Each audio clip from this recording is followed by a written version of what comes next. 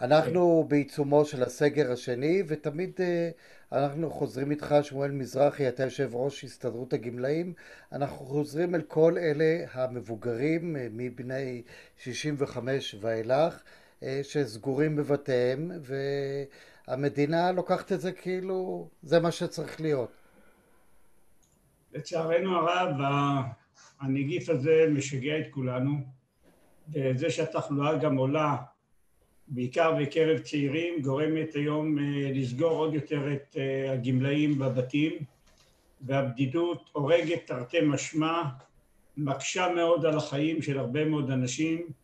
יש כמובן תחלואה קשה מאוד, גם פיזית לאנשים המבוגרים, שלא מפעילים את הגוף שלהם, לא יוצאים, לא הולכים, לא חשופים לשמש.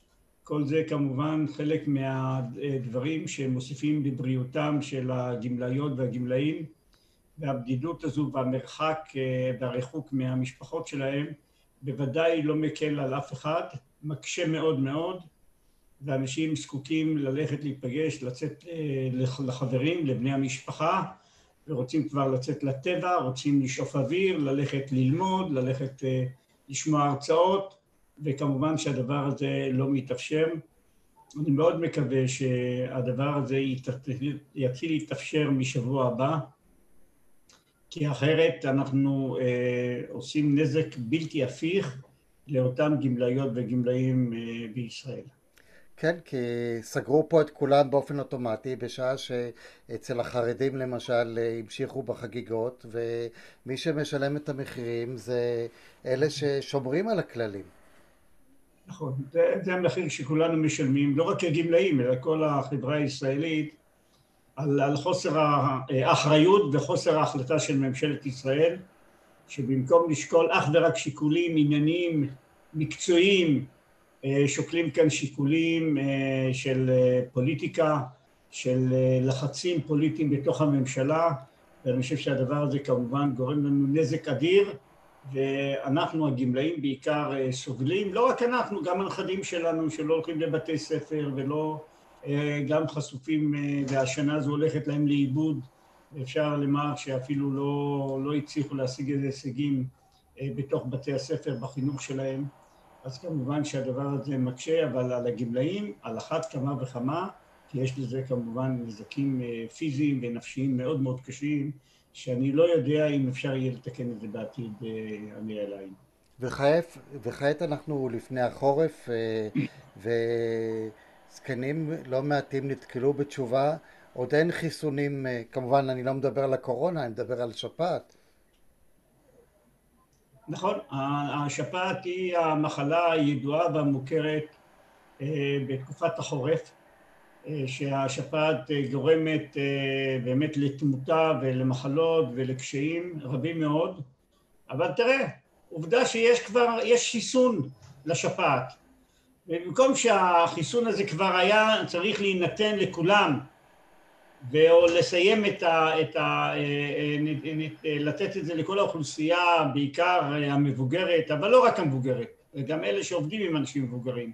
לתת להם את החיסון הזה כדי למנוע חלילה וחס שמישהו יתאשפז או יחלה, והנה חסרים לנו. ממשלת ישראל לא מסוגלת לספק היום את, ה, את האפשרות למנוע את השפעת במדינת ישראל, ויש לזה פתרון, זה לא כמו של הקורונה שעדיין לא מצאו את דרך המניעה, את, ה, את, ה, את הטיפול המונע אה, מפינת אה, זריקה או כדור כדי למנוע, כאן יש פתרון והפתרון הזה הוא לא נגיש, אני יודע על הרבה מאוד פניות, יש לנו פניות רבות מאוד, אני רוצה שתדע, הרבה מאוד גמלאים מתקשרים אלינו, הם מתקשרים לקופת חולים, אנשים מבוגרים, גם בן 92 ברמת גן, אומרים אין לנו עכשיו את החיסון עבורך, בן 92, כמה זמן לא יינתן לו לחיות, אה, לחיות אם חלילה וחס הוא יחלה?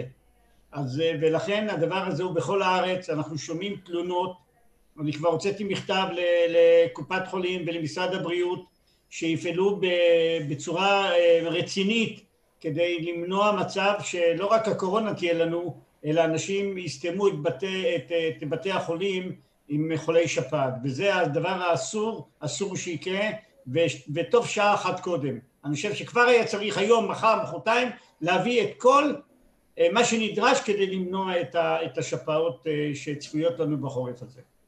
במילים אחרות, במקום יחסי ציבור להגיד כמה אנחנו טובים, בואו נתחיל לעבוד, ופה מדובר על ממשלת ישראל שהיא כל כך גדולה וכל אחד זורק דברים ואני רואה מה קורה ברשתות, אנחנו לא מחפשים את כל הציוצים האלה ואחרים, אנחנו רוצים מעשים, זאת אומרת לתת מענה לאוכלוסייה גדולה שתלויה בהחלטות הממשלה. ואנחנו מדברים פה על האנשים המבוגרים והזקנים שזקוקים עכשיו לאוויר, הם צריכים קצת לצאת לחופשי והם צריכים את החיסונים שהם צריכים והמדינה צריכה להיערך לתת לזה, לא לספר סיפורים. מיקו, תקשיב, אנחנו הופתענו מהנגיף הזה של הקורונה. לא ידעו איך לטפל בזה, לא ידעו איך זה ומה זה, ועדיין הם מנסים למצוא פתרון. לשפעת יש פתרון. יודעים שאפשר היום לתת את דרכי המניעה, לתת את הזריקה ולמנוע את השפעת. והנה, תראה איזה מחדל נוסף של הממשלה הזו ומשרד הבריאות, בעיקר משרד הבריאות. שהוא גם פישל בנושא של בתי אבות, בבתי החולים, בבדיקות, בבתי אבות, בבדיקות של הקורונה, שלא ביצעו אותם, והרבה מאוד אנשים לצערנו הרב נפגעו כתוצאה מהזלזול הזה של משרד הבריאות. אבל גם עכשיו, איך זה יכול להיות? מה, אנחנו לא איזה משהו שפתאום מזג האוויר השתנה והתאריך לא, לא, לא הגיע של החורף ושלא ידעו ש, כמה תושבים יש ומה צריך ומה לא צריך. זה שוב מחדל, הולך על מחדל של משרד הבריאות שלא נערך כמובן ולא מספק את הנושא הזה לקופות החולים ומאפשר לקופות החולים להתחיל לפעול כמו שהם צריכים לעשות את זה, זו המחויבות שלהם.